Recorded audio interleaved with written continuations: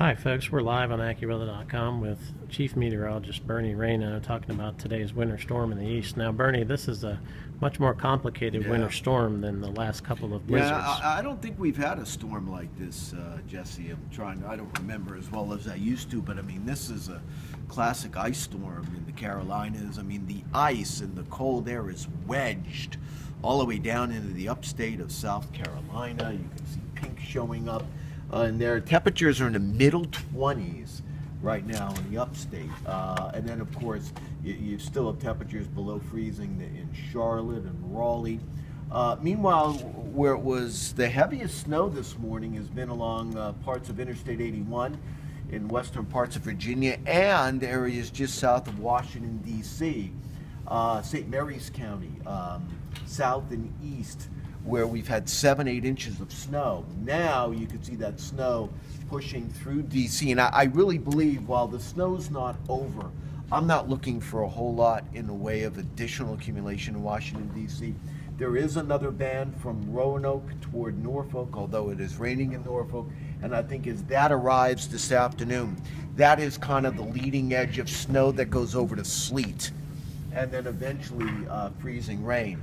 Meanwhile, the ice is still is going to continue to be quite bad um, across the Carolinas here. This is where we're looking for the significant ice as we move forward here. So in a lot of these areas along Interstate 81, you're snowing now, but you're going to change over. But even in Roanoke, about seven, eight inches of snow on the ground, you're going over to freezing rain and sleet. And of course, anywhere here in western North Carolina, you're going to be going over the, uh, you're going to continue with ice. Raleigh, you're going to get it as well, though the thought is the precipitation may be a little heavier the farther you get back. Now, Washington, D.C., I think we're, we're going to go over to sleet and freezing rain by early afternoon.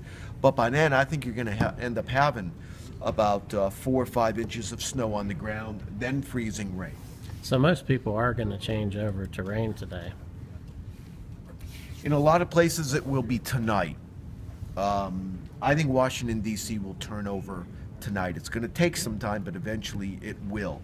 Uh, once you get a little farther north, let's let's go up to 95, um, and let's go to um, Philadelphia, New York City. So Philadelphia, snow's about ready to begin. Should snow for a few hours. You've got to be worried about slippery travel uh, for your drive home, and then it will go over this freezing rain through the evening hours, and then eventually tonight it should turn over to rain. Now, the closer you are to the coast, the uh, quicker that changeover is going to be. New York City around midday uh, should change over to the sleet and freezing rain this evening, rain by midnight.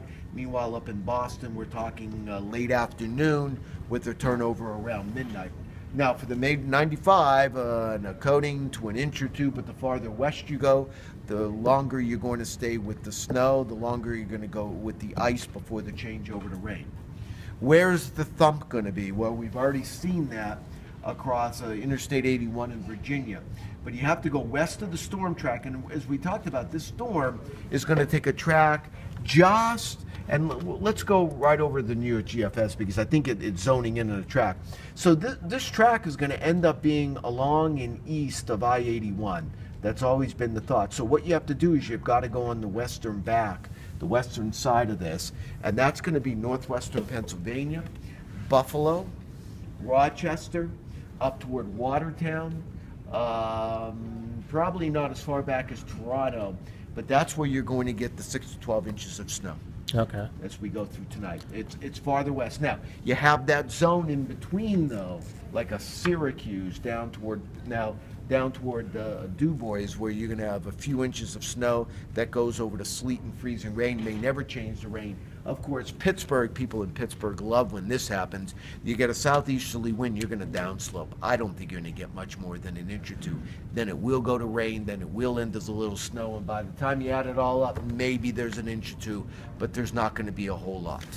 So I had a couple questions Yes, about the, of long range. What's what's coming after this? Are we going to warm up? Well, I haven't really looked too much at long range, except that it looks like it's going to get, um, uh, it's going to turn a little tranquil as we get into our Wednesday, Thursday. Then it will warm up as we get into the uh, into the weekend, and uh, beyond that, we'll have to rebuild the cold. and it looks as though our next threat would be somewhere, I don't know, 25th, 26th, somewhere in that. But after this, I think it gets a little tranquil. Excuse me. Any other questions? Uh, what's in store for the Altoona area? Brian wants to know. I think you're looking at a, a one one to three inches of snow that goes over to ice, and then the ice will change over to the rain. Now the question is, is how long does it take? It may take quite a bit of time as we go through tonight, so there may be a significant amount of ice, or at least enough ice to cause major problems tonight. I don't think things get better in Altoona traveling until seven, eight o'clock tomorrow morning. Okay, is that the same uh, for here in State College? Yeah, same thing here in State College. I think we're getting a couple inches of snow here. We had a little bonus snow this morning we uh, did.